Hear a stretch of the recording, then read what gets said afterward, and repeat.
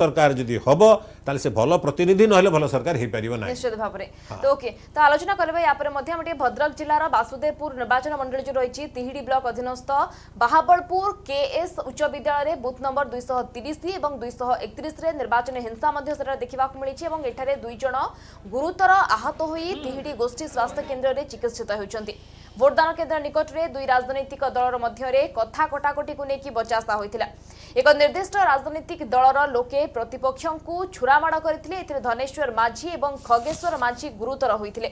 ସେମାନଙ୍କୁ ତୁରନ୍ତ ତିହିଡି ଗୋଷ୍ଠୀ ସ୍ୱାସ୍ଥ୍ୟ କେନ୍ଦ୍ରରେ ଭର୍ତ୍ତି କରାଯାଇଛି। ତେବେ ତିହିଡି ପୋଲିସ ଘଟଣାସ୍ଥଳରେ ପହଞ୍ଚି ଘଟଣାର ତଦନ୍ତ ଆରମ୍ଭ କରିଛି। ଆମକୁ ଜବରଦସ୍ତି କହୁଛନ୍ତି ଭୋଟ ଦିଅ ବୋଲି।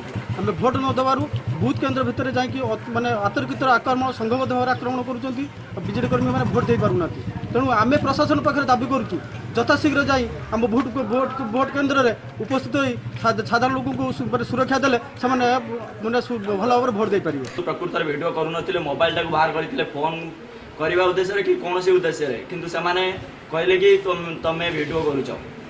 ଭିଡ଼ିଓ କରୁଛ ଏଇ କଥା କହିବାରୁ ଆଉ ତାଙ୍କ ବାପା ଆସିକି ସେଇ କଥାକୁ ସମାଧାନ କରିବାକୁ ଆସିବା ଟାଇମ୍ରେ ମଙ୍ଗଳ ମାଝୀ ତାଙ୍କ ବେକ ଧରିକି ମାଡ଼ି ବସିଲେ ତଳେ। ଜଗତସିଂହପୁର ନିର୍ବାଚନ ମଣ୍ଡଳୀର ନାଉଗାଁ ବ୍ଲକରେ ଇଭିଏମ୍ରେ ତ୍ରୁଟି ଅଭିଯୋଗ ମଧ୍ୟ ହୋଇଛି। ଭାତପଡ଼ା ଗାଁର ଶହେ ଏକସ୍ତରୀ ନମ୍ବର ବୁଥ୍ ଯଦି କଥା ଆମେ କହିବା ତେବେ ଶହେ ଏକସ୍ତରୀ ନମ୍ବର ବୁଥ୍ର ଇଭିଏମ୍ ଖରାପ ହୋଇଥିବା ଅଭିଯୋଗ ହୋଇଛି।